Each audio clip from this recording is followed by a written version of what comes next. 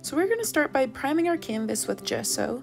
This will allow us to paint on a smooth surface without sticking with our brush. And today we're going to create a lake painting and I really wanted to showcase this with cheaper paints that you can use without having to spend a lot of money. And now we're going to go ahead and start by taping the sides of our canvas. This will allow us to have a border around it and not to go over this border. The colors that we're going to be using are white, black, a bright blue, crimson, and a bright yellow. And to start this off, we're going to combine bright blue and white so we can create a sky blue shade. When we start putting this onto our canvas, we want to make sure that the color is even, there are no blotchiness or white parts coming out, or even streaks from the brush. So you want to make sure that you have enough paint on your brush, that your brush isn't wet, and to just combine these colors until they are faded together.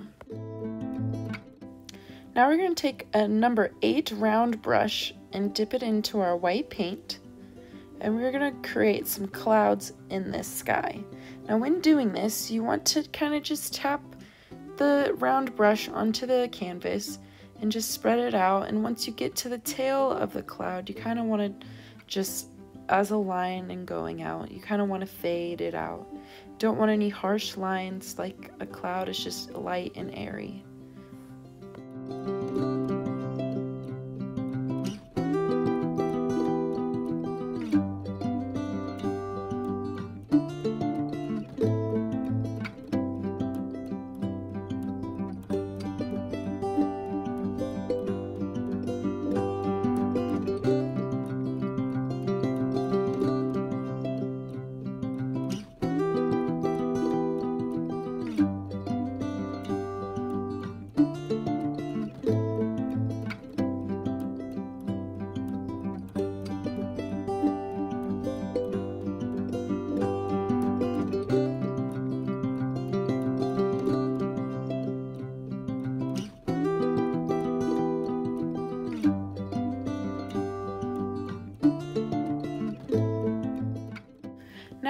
Combine our bright blue and black.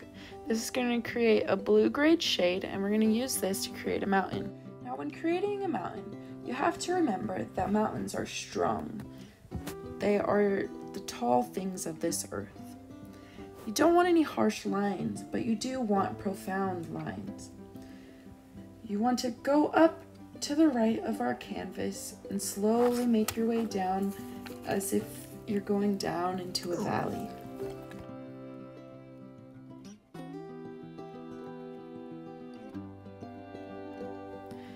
Now, since we filled that mountain in, we're gonna create, we're gonna put a little bit more black into that shade we just created. And we're gonna make a second mountain underneath that.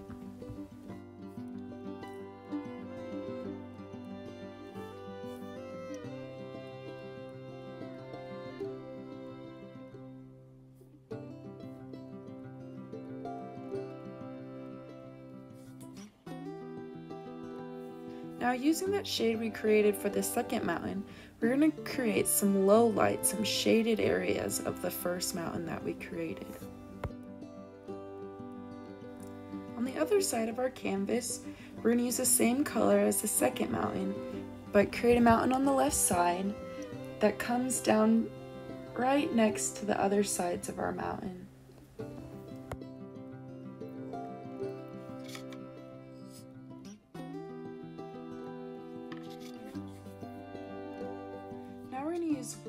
White and a pointy brush, we're going to create some highlights on the mountain. You want to focus on where your light is coming from. So in my painting, it is coming from the left side. So I'm putting the white on the left side of the mountains.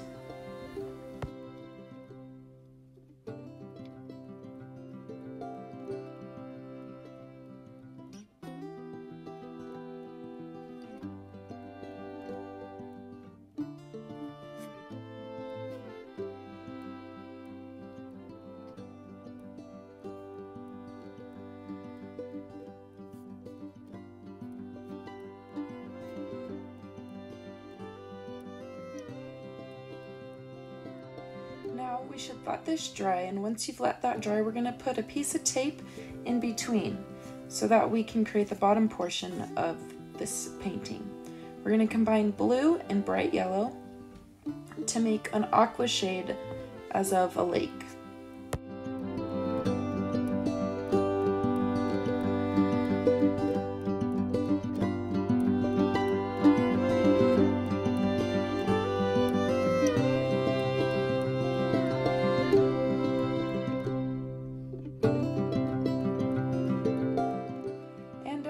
For our sky, we want to make sure that our lake is clear, no blotches. And with our aqua shade, we're going to add a little bit more white and we're going to highlight this lake from the top area so that we can show this lake has some shine to it, that has some dimension.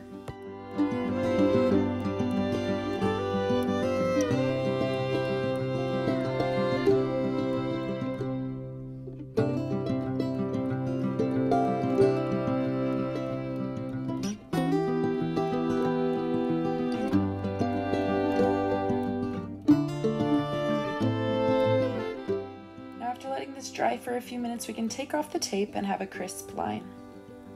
Now we're gonna create a green shade using blue and yellow, and we're gonna create some trees on top of this mountain.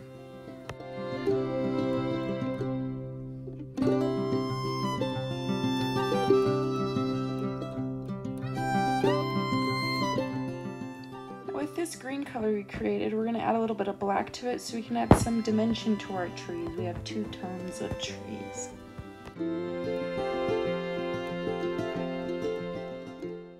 Now we're gonna combine crimson and yellow together and we're gonna create kind of a bank for these trees to be sitting on. Now just as before when we created the trees, we're gonna create those trees inside the lake creating a reflection onto the lake.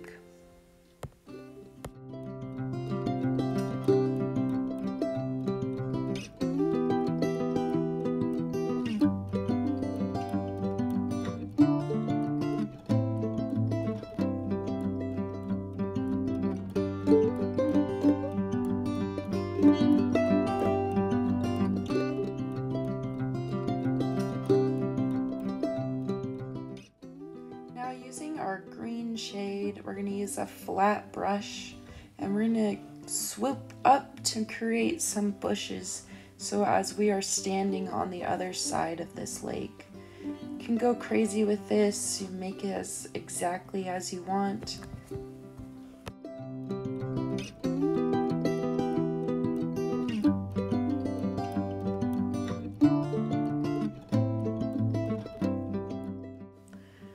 As we had before with our green shade, we're going to add a little bit of black to that. We're going to create some dimension for our bushes.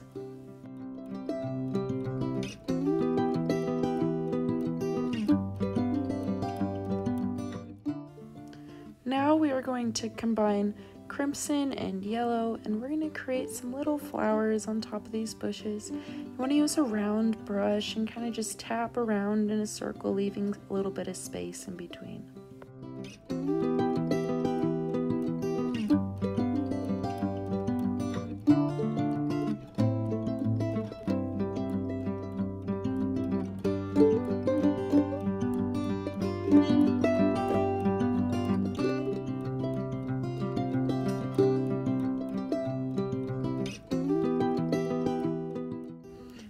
Just going to take the color yellow and we're going to fill in those little spaces that we left behind with this yellow to represent the middle of the flower.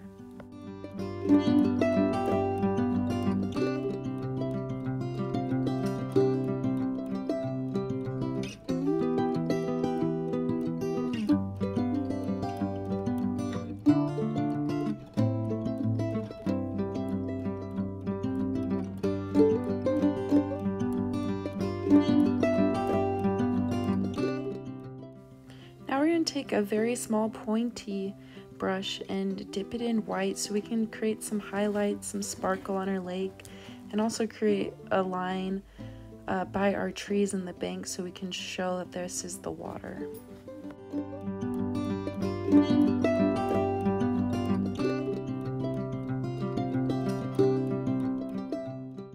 Now we're going to take a bigger round brush and we're going to create a circle on top and kind of show some rays of light going down onto our painting.